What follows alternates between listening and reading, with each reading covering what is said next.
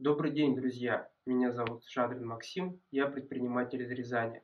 В 2017 году я стал победителем федерального этапа национальной премии «Бизнес-успех» в номинации «Производство». Это стало одним из ключевых факторов нашего дальнейшего успеха. Мы стали резидентами Сколково, начали работать с международными корпорациями, а наш оборот увеличился практически в 10 раз. Прими участие в конкурсе и ты.